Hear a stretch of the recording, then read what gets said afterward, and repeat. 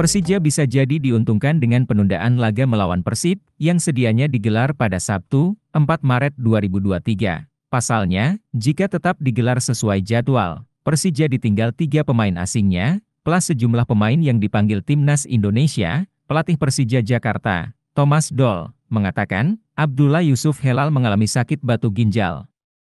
Selain Yusuf Helal, Hanno Behrens juga pulang ke Jerman karena sakit perut, sehingga memerlukan pemeriksaan intensif terkait kondisinya ke dokter.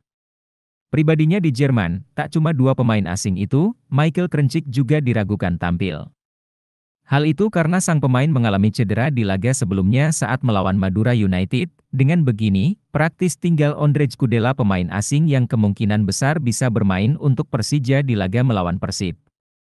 Kudela sebelumnya juga mengalami cedera, namun kondisi sang pemain kini dilaporkan sudah membaik. Sementara itu, Persija pun memiliki satu pemain lainnya yang mengalami cedera.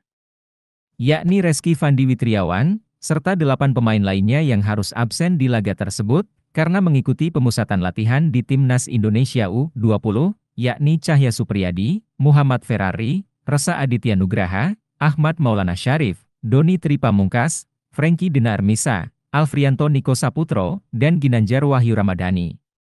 Dengan penundaan laga Persija melawan Persib tersebut, Persija memiliki waktu lebih untuk persiapkan tim dengan matang.